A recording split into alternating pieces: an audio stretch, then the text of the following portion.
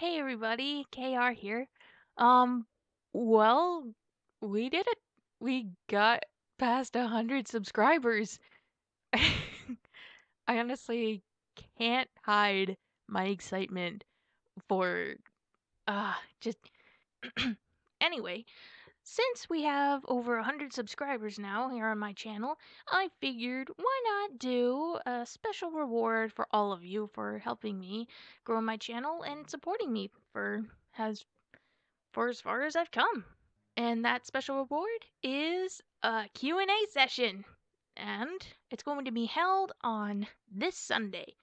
So, what I'm going to do is I'm going to request all of you to leave your questions below in the comment section. And it can be about anything about me except for questions like um, what is my real name and if I'm in a relationship or not. Any questions like that will not be answered. I'm sorry.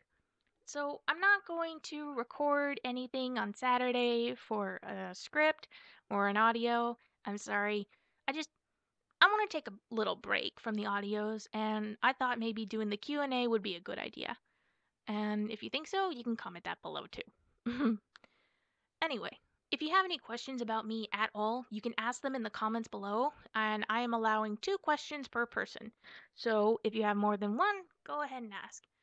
So if you have a question that maybe someone else already asked, then feel free to ask another question if, you know, that happens. Because I'm pretty sure it will. so, uh, yeah, uh, Q&A this Sunday, and the deadline for the questions to be submitted into the comment section of this audio right here is Friday at midnight Pacific time. So if you're on any other time zone, then um,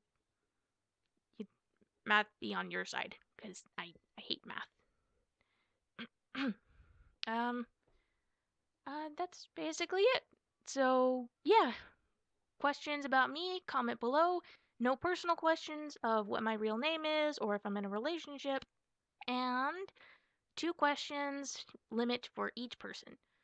And remember, be nice to people in the comment section and stay amazing because you all are, and I love you very much.